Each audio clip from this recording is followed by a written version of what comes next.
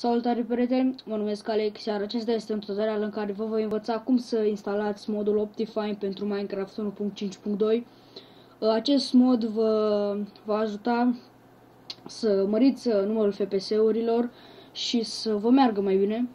Ok, vă voi lăsa un link în descriere de unde să-l uh, downloadați. Este pentru versiunea 1.5.2, 1.6. Ok, uh, Și noi uh, putem downloada orice versiune de aici, ori, nu știu, pe care vreți voi. Eu voi downloada aceasta HD 2D Lite. Uh, o puteți downloada pe care vreți, mie asta îmi place. Bun, și așteptăm puțin. Se încarcă, așteptăm 5 uh, secunde. Ok, haide dăm sar peste. Și ne, ne va redirecționa pe alt site. Și vom apăsa aici download Optifine bară jos 1.5.2 bară jos L așa. Ok apăsăm și uh, ne va descărca o arhivă pe care vom pune pe desktop. Ok scuzați lagul filmez HD și din cauza asta am puțin mai mult lag. ok. Uh. Ah, ce rahat are. Asta să mai downloadez o dată. Ok. O vom pune pe desktop. Haide. Te pui? Te rog, frumos. Da, a trebuit să downloadez de 3 ori să pot să o pun pe desktop. Ok, și vom intra în ea.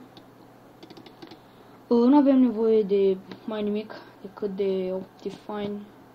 Optifine, doamne, decât de Minecraft și de uh, WinRAR. Ok, vom intra în Start, în Run.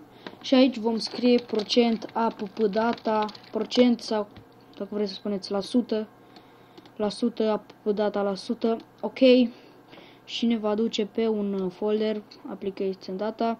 Avem aici un folder .minecraft, intrăm în el și apoi avem aici un folder numit bin. Uh, haide. Vom intra în acest folder bin. Și aici vom avea multe fișiere. Uh, pe noi ne interesează Minecraft. Dăm click dreapta pe el, open with, mirror archiver. Ok. Vom intra în uh, pur și simplu în Minecraft. Așteptăm, adică în componentele Minecraftului. Dacă putem să zicem așa. Sper să se deschidă azi.